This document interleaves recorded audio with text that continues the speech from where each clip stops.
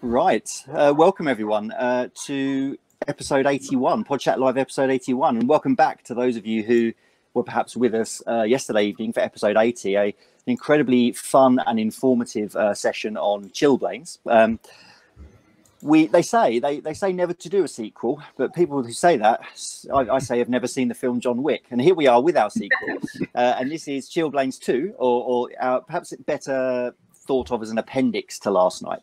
Um, and we're going to be talking about the specific uh, associations, correlations, manifestations. I'm not sure the right word to use here, but the the the reports of COVID toes. So these chilblain or pernio-like lesions that we have seen. Um, sort of reported in in the literature with increasing sort of amounts um, and coronavirus.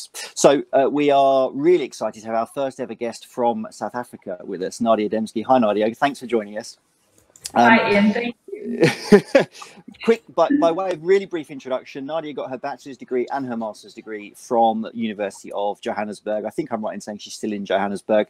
She sits on the executive executive committee of the National Podiatry Association of South Africa, and as we will come on to talk about towards the end, she has just submitted a PhD proposal on this exact topic, um, chilblain-like lesions in, in coronavirus. So we look forward to her telling us as much as she's happy to tell us about that toward the end. Um, but we'll start, if we can, just by talking about um, the the phenomena that's occurred over the last few months and the way that it seems to have exploded. And I should probably state fairly quickly, just for, in case people are listening to this after the fact, you know, weeks or even months after the fact, that today, time of recording, it's Friday the 19th of June 2020. I wanted to make that clear because this this seems to be changing rather rapidly this evidence the amount of it and what it's saying. So i think we should probably date stamp what we're saying today and say it's relevant as of today but it may not be in in, in future times. So um nadia has it surprised you uh, i'm guessing this is an area of interest for you given that you've just submitted your phd but has it surprised you just how much research we have seen in in in such a relatively short period of time. I've counted at, at, least, and I know I've missed some, but I've counted at least 15 published papers in the last 16 mm. weeks. So that's almost one a week. Now, I've had papers under review for months, years before. So, what's going on here? Is it just that the interest is captured? Is it where the funding's going? What's going on?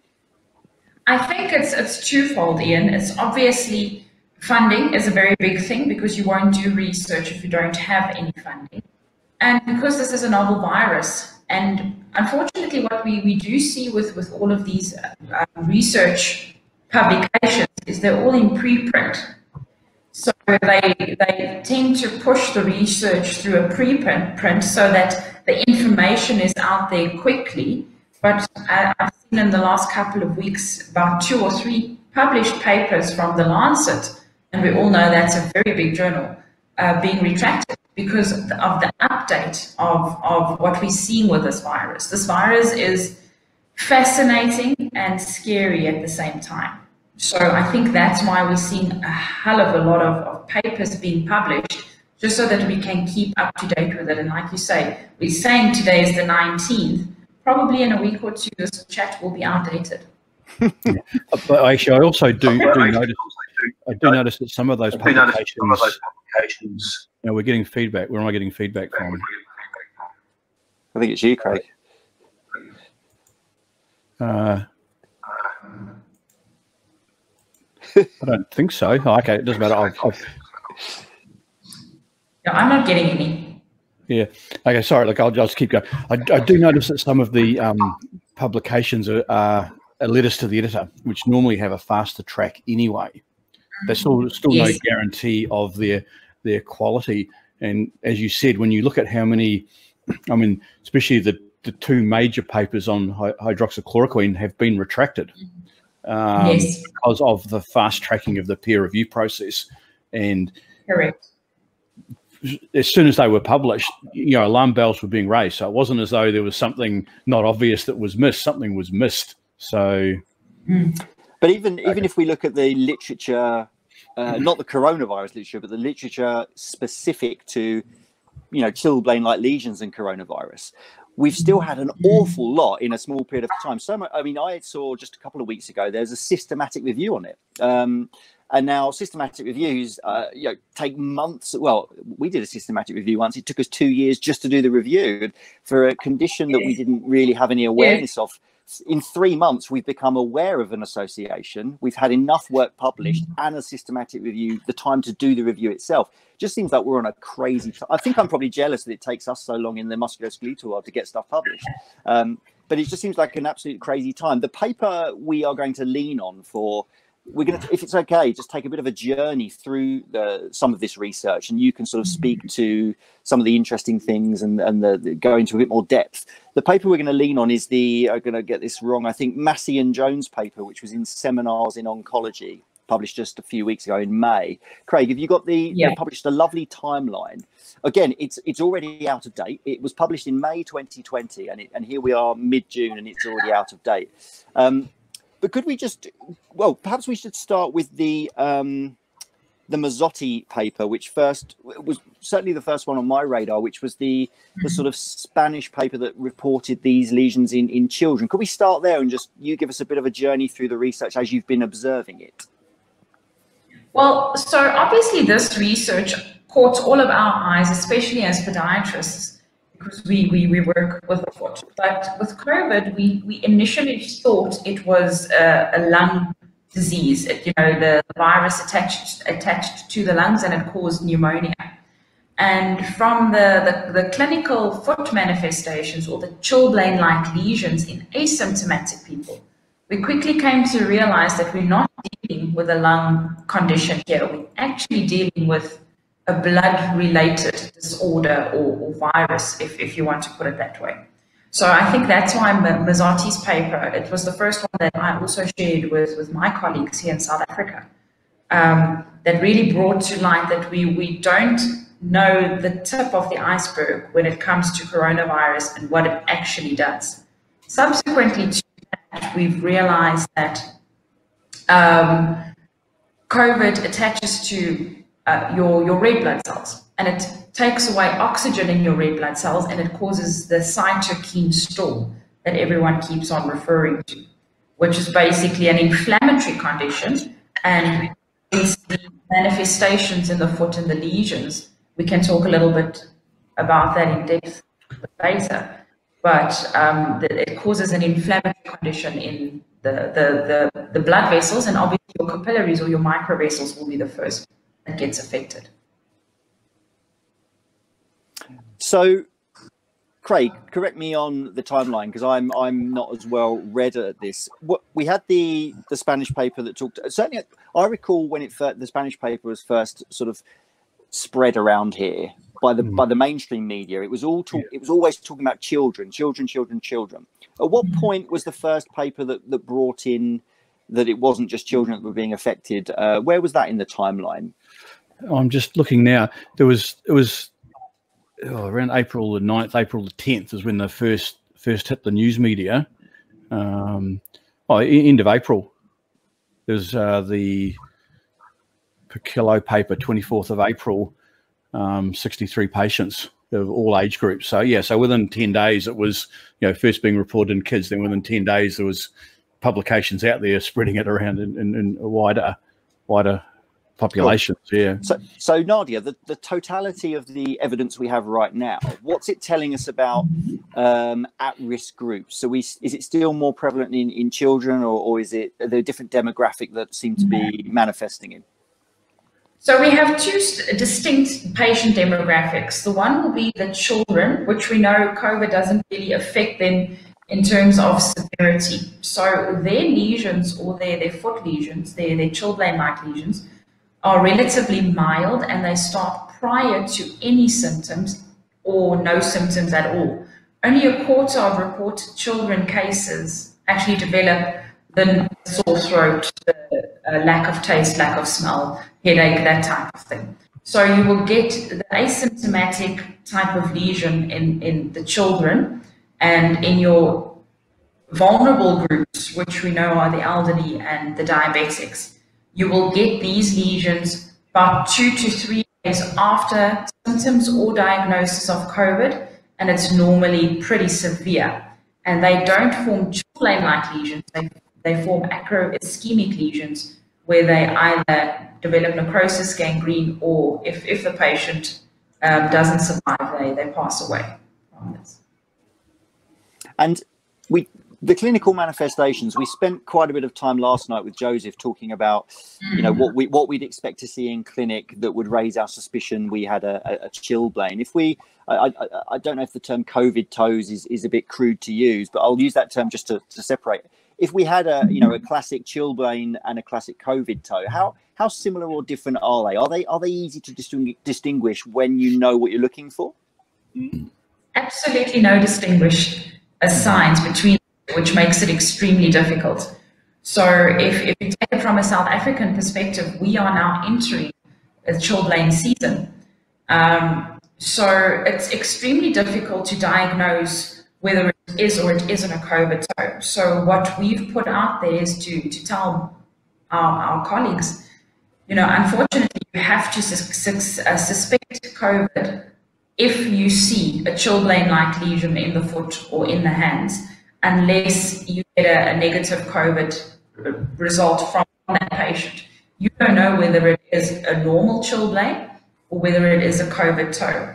The one thing that might distinguish it from the, the, the other is to ask your, your history, of course, that we, we always do. Um, and, and that is to, to make sure that the patient hasn't had any cold exposure, not freezing temperatures, but a cold exposure and then a rapid warm up of, of that digit. If, if that's the case, you're likely dealing with a chilblain. Otherwise, you wouldn't know. So, in a history yeah. taking, sorry, go on, Craig. Yeah, look, I was just going to say, I, th- I, think it's also keep in mind that um, when COVID 19 first had its outbreak, the Northern Hemisphere was in chilblain season. Whereas down here, we were not in chilblain season. Now we are in, now in chilblain season down here. So we're starting to see these chilblains. So I don't know how much that factored into it. I know that like the first reports were coming out of Spain, which don't necessarily have a lot of ch- chilblains anyway. Um, but yeah, I think that, and, and I, I, do like Nadia's comment about the, the chilblains that are being seen in COVID 19 are no different to the chilblains seen anything else. I mean, these are chilblains. It's just yeah. they have seem to have a very, very high prevalence in COVID 19. So we, you know, we talk about spurious correlations. I've seen a brilliant one, uh, you know, previously, which talked about the amount of people that that watch Nicolas Cage films and the amount of people that die in swimming pools. You know, things things things yeah. in life sometimes just correlate, don't they? But this, so what what we're saying here is we we had a, an outbreak of a, of a novel virus at the time that we'd have probably been getting a lot of chilblains in the northern hemisphere anyway. But that aside, there there is there any debate that there is a, a strong link here? You know, what, what's the what, what's the sort of proposed reasoning behind the association? So the proposed reasoning behind the association is exactly that, that cytokine storm. And now we know that we can't treat patients with a cytokine storm because they die because of anti-inflammatories or, or, steroids that we give them. Um, the recovery trial that just came out a couple of days ago now gives us a little bit of hope for the ventilated and oxygenated patients because you can actually give dexamethasone to them and they the recovery rate is quite well. But in terms of the debate, um, we've, we, I've seen a lot of, of information and research that needs. I got a lot of feedback there. No, no, that was me. I fixed it.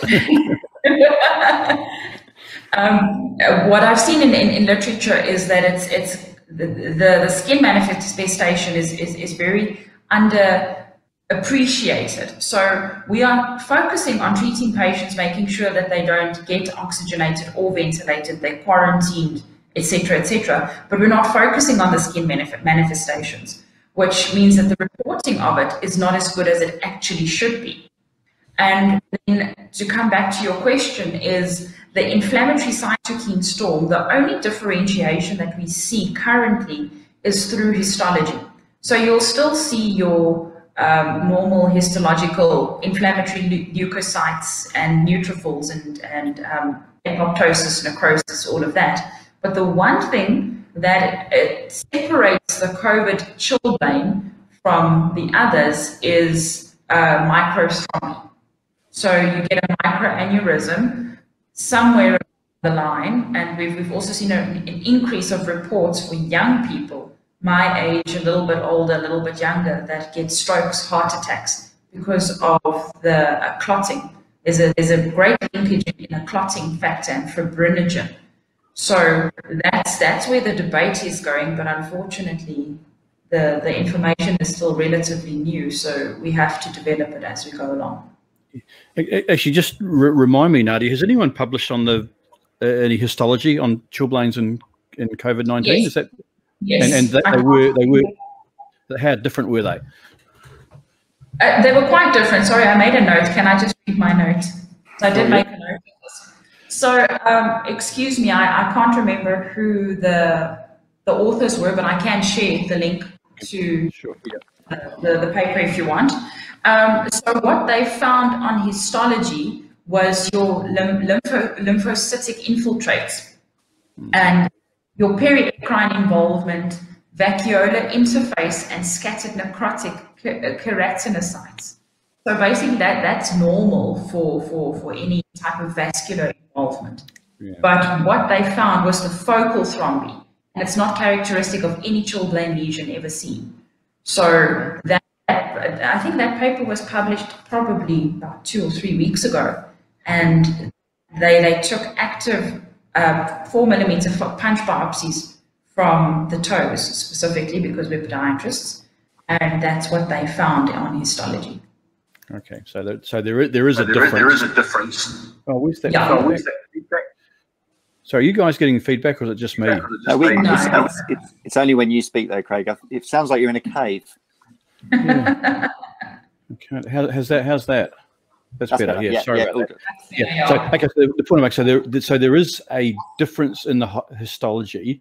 Perhaps saying, well, there may be there is something different in the pathophysiology. The Everything else is characteristic of a chilblain, but the yeah is the one thing that they've so what, where would what would that micro trauma be?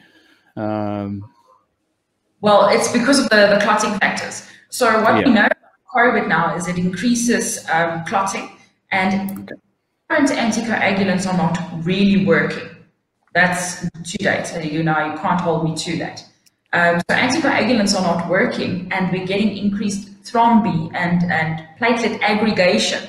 Um, it's something never been seen before. I know that a couple of uh, pathologists and histologists have commented to say that the, the, the, amount of clotting and the way that the platelet aggregation sits is something that they've never seen before. Okay. Yeah, and I, like, that, like that's interesting because the, the, the the the thing that I sort of try to get my head around is is that is COVID nineteen the, the, the cytokine storm and the pathophysiology of that just a risk factor for chilblains. So they're just getting a normal, regular chilblain. Um, they're just more prone to them. So it's not actually part of the pathophysiological process. But given that the histology is actually showing something in there, that yes. indicates that it potentially is part of the pathophysiological process. Yeah, that, that's what makes it so fascinating. One day you think it's one thing, and the next day you think it's something else. And especially, you know, as a podiatrist who, who loves dealing with diabetic patients and, and blood disorders and blood problems, this is fascinating that we're seeing this as part of a pathophysiology. Yeah, sure. Now, we just on this, we just had a question from Belinda about whether um, focal thrombi is an inflammatory marker, but do the histo reports uh, you've seen have anything to suggest that there might be viral particles within the cutaneous lesions? They haven't commented on that, no. So it, it, the research, I can't comment, unfortunately. Yeah. I would have. I, I, am just guessing here. I, I, would have thought that in the histological studies they would have looked for that, and if they didn't comment, that's probably because they didn't find them. Maybe I don't. I don't. I, am I'm, I'm guessing, but yeah. that that might be the one thing. Or the other thing is it might still be in print. There's still their research and delving deeper into into what uh, we currently see. Because again, we see something today and then we take that and we build on it. I mean, just on, on the PhD proposal, I had to take a, a lot of my information out because uh, publications have been pulled out, um, you know, they've been rejected and then new information comes in. So every single day you get new information. So I'm sure that they, they are still busy trying to isolate the viral particles. Yeah. So I, don't, I don't know. I don't know. Sorry, I was going to say I don't actually know how easy or hard that is to do in histology. So yeah. no, no, me neither. I mean, Thank heavens I work with people and not with cells. from uh, from a just a pragmatic clinical approach, what we're what I'm what I'm taking from this, and call me out on it if I've misinterpreted, is that a bit like we touched on yesterday, you'd see a skin lesion, and, and the history is key and king, so to speak. So if you saw one of those classic sort of risk factors, so the you know the female sex, low body mass index, history of exposure to cold, and you saw one of these lesions, you your mm-hmm. index of uh, a chilblain would be raised if we we talked last night about um, i know you watched last night we talked about if yeah. we had a, a middle-aged overweight male who who had had no cold exposure what would we be thinking and joseph said we'd be thinking about some other systemic thing at what point um, do we start thinking or do is it appropriate to see something which doesn't which looks like a chilblain but doesn't fit and immediate and I've, I've certainly seen people immediately on the internet see a lesion and say coronavirus clearly that that that that can't be the, the, the, way to do this. What's the what's the clinically reasoned approach that you would advise our, our audience who are sort of sitting in clinic, perhaps seeing, uh, particularly up here in the northern hemisphere, seeing these kind of lesions at this time? How do they reason through this this this sort of uh, this these woods? So, I mean, obviously, this is just my my my personal opinion. Um, there are no CDC guidelines yet. They they are considering putting. Uh, a COVID toe symptom, or the colloquialism of COVID toe, to put it as a screening tool. So, um, in, in terms of that, there actually isn't any screening tool or for you to, to consider it being a, a, a COVID toe. But if you just look at, at the demographics, so again, I'm going to speak about South Africa because our numbers are rising quite rapidly. And if an elderly gentleman walks in here um, the, the, type of gentleman that you described. And my history would be, do you have any COVID-related symptoms? Uh, yes or no really doesn't give me any indication of, of whether he actually has the virus or not. Temperature, I don't know what you guys are doing in, your parts of the world, but we screen for, for low-grade fever. And any patient that walks into the practice with, with a fever of 37.3 to 37.5, I know, you know, differs from country to country. I immediately boot them and send them for a coronavirus test. And then obviously exposure to people. You are supposed to now currently with all the lockdown regulations, you should be self-isolating. You should only be doing the necessary. But if you went out and a couple of days ago, you went for to get yourself some milk and bread, and then all of a sudden this type of symptom appears, and it's not within that uh, patient demographic of, of uh, a normal children, you would be quite suspectant. And with your kids, with us now sending children back to school, if the children is self-isolating at home because they are of the grades that are not going to school, probably a children. If it's a child exposed to other children and being outside in the world, then that would be the first idea that it is a COVID Actually, just just while you were talking, I just did a quick search, Nadia. So I was just a bit intrigued about the false negative rate for testing. Yes. And I've just found a study from a week ago that's put it as high as 38%. percent mm -hmm. You know, so like it's that's yeah, 38% false, false yeah, negative rate. False negative rates is huge. And yeah. the one that, that um, We've added to the guidelines here in South Africa. You, I don't want to lie to you. I think three or four weeks ago was it's you won't normally get a fever or um, a, a, sore throat or, or, runny nose that that that they've uh, the, the, the world excuse World Health Regulations guidelines gives you. It's actually if you have no sense of smell and no sense of taste, surefire you should be isolating yourself completely. Uh, because you, you probably have coronavirus. And those patients come back with a, with a negative test. Yeah, I should qualify that 38 by 38% of the study did actually say it depends when during the natural history is that test done. So yeah. if it's done done early, it might be much higher than when if it's done a little bit later. But it's still, you know, if you just um, you know cross sectional send someone off for a test, you know, yeah. And again, that that and that there may be a different testing um, kit or something used in different countries which may have better rates, you know, but that was still Um, actually, look, I just want to make one comment. You, you, just did you did mention something about the CDC might be considering putting out guidelines for this. I, I just intrigues me because I know when I speak to North American colleagues, and I, I, especially those in Southern California, and I use the word chilblains, they go, "What?" you know. So, so to to a lot of them, this is actually something quite new. I mean, to those of us who've spent years in, in well, where, where I'm in Melbourne and Christchurch, New Zealand, you know, chilblains is a regular thing. Um, this yes. is something we're used to seeing, but to, to and, and so if the CDC is going to put out some sort of guidance in North America, America, I can understand why because it is something they, just don't, they just don't see, you know. yeah, so so it, it, depends on the type of colleague, obviously. So. Yeah. Sorry, Ian, I see you want to say something. No, um, you go, you go. it's it's obviously your your podiatry colleagues are not generally the ones in the front line. I know of and probably one or two others that are actively involved in, in testing and screening patients, where mm-hmm. as your colleagues would just go on with their normal day. Um, it's more your your frontline uh, doctors and even dermatologists who are pushed into the front line because of, of the amount of patients that they see. Those are the ones that you actually need to speak to because they, they have spoken about um, this in a CDC guideline. I haven't seen any guidelines yet. But again, the publication came out two weeks ago. Yeah. Actually, probably also should clarify clarify with regard to dermatologists. There are other skin lesions that are being reported in COVID nineteen, yes. not, not, just the chilblains, you know, on other yes. parts of the body. So it's a, it's obviously a risk factor for more than just a, a, a chilblain. Yeah. Absolutely. Could we could we go back to the the evidence we have, the the, the published work we have on mm. on chilblains and chilblain like lesions and and you know, or COVID COVID toes, whatever they're referring to it as. Of the 15, 16 papers, I probably missed some. There's probably 20 now.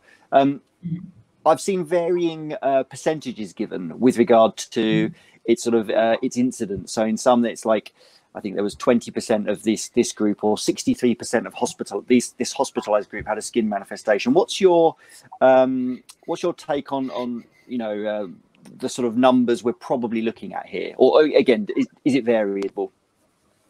It's extremely variable at the moment because we're not looking for these skin lesions. Um, so I've also seen some published work with a, with a 20% of 88 patients. Um, so it's only about 18 patients that have a skin lesion or a chilblain-like lesion. We're not talking about the rest of them. Um, there are other lesions as well that we're looking out for. Um, but there are incidences of 40% of, of patients who are who are tested positive who have chilblain-like lesions, along with a host of others, and some even report 80%. So it's extremely variable. It, I think it honestly depends on what you are looking for. Mm. It does feel like one of those subjects where it's it's it's interesting and, and, and fascinating to talk about it and be in the middle of it all as it's emerging. But it feels mm. like fast forward however long, whether it be months or probably years, it will be looking back on it that we can look at it all and sort of real really make sense of it. Do you think that's Makes fair? Sense. Absolutely, absolutely. Because what you think you know today and you think you're the expert today, tomorrow you're at the bottom of the totem pole and you have to start all over again. Um, so it's extremely difficult in an in an emerging and a very novel virus like this um, your, your, your data that you collect is extremely dependent on what you're looking for. Some people are looking for uh, factors, some are looking still at, at, at the, the lungs, what's happening in the lungs. People are looking at skin manifest manifestations. And the only reason skin manifestations popped up is exactly because dermatologists were put in the front line. It wasn't a podiatrist who first saw a skin lesion on the foot, it was a dermatologist and that was in, in, in, Spain and Italy because they were forced into the front line. So unfortunately, probably five, ten years from now, we'll look back and say, we should have seen this, we should have seen that. But in the mix, you, you, you know, farting in the wind, if I can put it that way. yeah, sure. Now, again, while we're talking, let me just share this. I just quickly did a um, Google News search for COVID toes. And, yeah. and I think something else, one thing, another thing that's driving this is the popular media latched onto it. And mm. in Google News, there's 1,160,000 results for COVID toes. The, you know, the news media really sort of latched, latched onto this, e- either appropriately or not, but that has sort of raised it in everyone's everyone's consciousness, um, which, which may or might not necessarily be a good thing. And that is exactly why you will find uh, laymen or colleagues, as soon as they see a, a chilblain-like lesion, which is extremely normal this time of year in the southern hemisphere, your alarm go off because it's it's it's a popular media trend at the moment. And I, I can't tell you why it's only the toes instead of all the other skin rashes and exanthems that we get with any viral um, infection. But the, the COVID toe thing just, I think it's because of the colloquialism of, of COVID toes that. Sure. Yeah. Sure. Now, I, I, did actually make a comment a moment ago about the other dermatological manifestations. We've just had a questions from Veronica. What what are some of those other dermatological manifestations other than COVID toes that do seem to happen okay. with increased frequency? That's not my field. I wrote it down. Yeah. okay, so we get an erythematous rash over the entire body, especially in children. You don't see um, in, in the elderly population. This is what to do with children. Um, urticaria and exanthema, which is basically like your Kaposi syndrome. A, a, lot of people have mentioned that you see the, the typical viral rash that you would see with Kaposi syndrome. But those are things that they, they've been finding in children. Mm. Luckily, I So yeah, but I, I, mean, I may embarrass myself here, and I'm far from being any sort of expert in dermatology. But I, my, my guess or speculation, you know, some of the pathophysiological processes that happen in COVID nineteen are similar to the risk factors for those other skin conditions. So they're just occurring with more frequency. Um, and I, I, just so, so those skin conditions that have, um, I don't know, the, the vascular reactivity as a risk factor, they're going to show it with more frequency. And, and it shows you that somewhere along the line, we are now seeing that this is a virus that irritates the inflammatory process and it irritates the oxygenation process and the fact that we cannot, um, uh, we clot more than what we should. So it's something to do with, with inflammation. Uh, what obviously just as a lowly podiatrist, I, I, I can't tell you all of the the um, pathophysiological traits that, that are happening, but it's something to do with, with inflammation and exactly that. Urticaria is a classic sign of inflammation. Exanthema is Actually, inflammation. Sure. Actually, my ears really picked up when you said that oxygen, oxygenation word. I've just, I haven't, and I apologize, I haven't read this, but I've just saved them to read and have scanned them. Um, yeah some studies done on on well, not studies but more commentary on athletes who have got mm-hmm. COVID nineteen and just how fatigued and tired they are when they recover. I mean, this is a, a you know athletes coming back to sport. It's going to be uh, it seems to be really bad, like worse than any other sort of like a, a flu or any other sort of viral infection. Um, it, it's it's and that's obviously the the assumption is that would be the reason why. Absolutely, and uh, there's one study published again, please don't ask me the names, I read them every day, um, is that 10 to 20% of recovered patients, and this is not now speaking about athletes, it's just in, in the general population who had COVID, um, have myocardial uh, problems because of COVID. And obviously that has to do, also has to do something, again, because it's the heart, has to do with the blood, it has to do with the oxygen that gets transported through the body. Sure. Um, we've just had another question, just sort of moving the topic off off that slightly about when does the COVID toe symptoms occur during the disease process, early, late? Um, so with with your children, they are asymptomatic, so that will just pop up probably day two or three of infection, but they don't know they have COVID because they don't have the concomitant symptoms.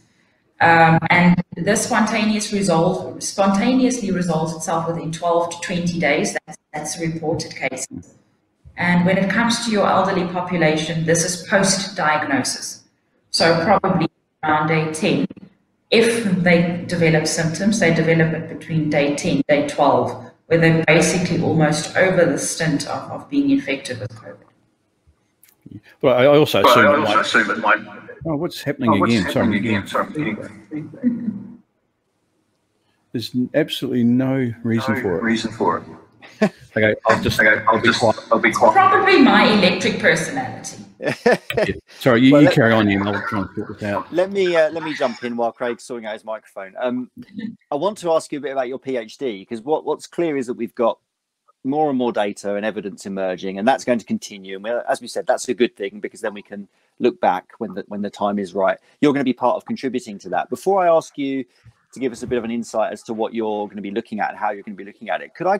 I, I- just want to ask you. I, I certainly remember reading something of yours, a biog of yours, years. Well, mm-hmm. certainly it certainly predates coronavirus. It was when you were at a conference you were speaking at. I saw, Yeah. and and it and even there it said you know has aspirations to study i think you you had your masters you ha- has aspirations to study a phd so i i'm assuming you wanted to do a phd before you'd even heard of coronavirus and now you're doing your phd on coronavirus now was there a sudden u-turn were you looking for a good idea and this came along or what were you going to do a phd on if you know at the end of 2019 Oh, Ian, that's a difficult question. Um, I always wanted to do my PhD. I've always had aspirations to do a PhD. Don't ask me why, because it doesn't bring you any money. It doesn't bring It just it's it's something that I wanted to do. So originally, my plan was to uh, start studying podiatric surgery at Glasgow Caledonian next year, 2021. And as COVID came along, Nadia was just sitting, reading, you know, doing her thing, saw something of a chilblain, and then she thought, let me just quickly send a WhatsApp to my professor, who was my professor for my master's degree. And uh, have you heard of COVID toes? You know, this whole process. No, send me something. And it was within a day that I sent her my, my, my PhD um, two pager and then methodology that I was thinking about. And that same day, I got my co-supervisor, Dr. Bernhard Zipfel. He's he's watching now. And yes, it just happened within two days. It was it was actually just it just came as a fluke because it's novel. That's great, and and we know that PhD proposals uh, they evolve as as as you go Yes. on. The first, the first draft you put in is never what you end up doing. So, and, and obviously, I I don't want to ask uh, you to give away any information you're not happy to give away, but. Uh, as much as you're happy to tell us, could you give us an idea of what what your proposal is at this stage and what you're going to be looking for, how you're going to be contributing to the literature, and and, and the sort of methodology that you're going to sort of be employing? So, what I want to find out obviously, we don't have a lot of publications from South Africa, and especially podiatry colleagues don't, don't publish. I mean, it just is what it is. I can't tell you why. Um, so, my reasoning is if it has something to do with the foot or the blood supply, um, we have to see how we as podiatrists can contribute. So, what I'm looking for is to see that the number one, do we follow the same pattern in South Africa as the, the world is doing? Do we get any chilblain like lesions or no? If it's no, then we don't have a PhD anymore, then we just write it up and send it on its way. if we do, I would like to see the different demographics, um, you know, because I've, I've also seen reported cases where people don't focus on your, your, your black population because of the darker skin color. So they just hoy it out the window and, and don't look for, for any um, chilblain-like lesions. So I want to see the demographic then in South Africa. So that would be more of a data collection process. And then hopefully, as the PhD goes along, some type of intervention, which is the one part that I'm stuck with at the moment because there ain't no intervention anyway for anything. But but Nadia, but surely if there is a cure for COVID nineteen on the horizon, you, you'd better get a move on. Yeah, I know, I know. I mean, we, we we all we all want this thing gone. We all want we all want to see the back of this. Perhaps except you. No, no, no. Well, but, that- but, but that's the thing that we. But I think the thing is here, like here in Australia, they're starting some vaccine trials, but we've got the incident rate down so low. I have no idea how they're going to do these trials. You know, pe- pe- people have to get sick to do, to do the trials. You know. It's a good, They can good send it to South Africa. We, we, Yeah. we, we, we're, we're at 80,000 uh, cases today. So when we're climbing, we haven't even started with the peak yet. So send it our way. We'll It's- that's a good problem to have, Craig. So you're going to be recruiting. You're, talk me through your recruitment process. So you're going to be sort of recruiting people that have been confirmed diag- diagnosed with coronavirus. Is that have I got that right? Twofold, yes and no. So I would I would ideally like it as part of a screening protocol because we don't have that. Uh, because I'm I'm in the front line and I do screen. That's one thing that we're not looking for because in a in a, in a, a community health clinic where there are 700, 800 people waiting to see a doctor, you don't necessarily go and ask each and every one to take their, their shoes and socks off. So it will be twofold to see if we are following the trends of younger children uh, being asymptomatic and having um, a COVID lesion. So to screen for a COVID lesion prior to diagnosis and then diagnose patients. What I would ideally like to do is myself go to the severely um, uh, infected patients, those on oxygenation and ventilation, whether they are showing the acro-ischemic lesions as well. But this will have to be a nationwide study, so I'll probably spearhead it here in Gauteng and Joburg, and then recruit colleagues to, to do the same in other provinces. Actually, just Great. just just one little side question that just occurred to me: Are these COVID toes, chilblain lesions on toes? Where do they stand in the um, scale of symptoms? Are they really causing a lot of problems for these people, or are they just like incidental findings? Or No, no, it's honestly just an incidental finding because it's annoying. It's just a, it's a little bit painful, but it's not that I saw this and this is this is what what causes me to to have a concern about COVID. No, it's just incidental. Cool. Okay. Well, I, I, Well, I, cer- I, I cer- oh, oh, I, oh, I've got feedback now. I've got feedback now. yeah, I, I, Yeah, I, I'm, I'm, I'm I'm puzzled by this. puzzled Ian. by the scene. Yeah, yeah. Well, I was about to wrap up anyway, so I was about to say I, I'm sure I'm not the only person excited by uh, any any literature in this area. I've been I, I, again, it's not my area of specialism. I don't see these kind of patients really. Uh, I've not been in clinic for 14 weeks, but it's just nice to sit on the sidelines and just see something relative to the foot sort of evolve and emerge. So, kind of excited that you're going to be a part of it, Nadia. Maybe in a few years' time, um, you'll come back on and uh, and uh, tell us how it all went. Oh, absolutely. I'm hoping for that. And I'm hoping not to just finish the PhD after a quick little, uh, uh, just the, oh, no, we're not following trends. So let's just, let's can it. I hope. Craig, is there anything off the No. that we need to touch on? No, that that's all. I've put them all up. So, look, so th- thanks so much, Nadia. Um, it's You're been really interesting. It's it's obviously a topical topic. We have had a lot of people watching. For those of you who've joined late, please come back in ten minutes. You'll see the video um, from the beginning. It'll be up on YouTube soon. So, thanks so much for watching. Um, Thanks, Nadia. Thanks, thanks, Nadia, Thank for coming on board. appreciate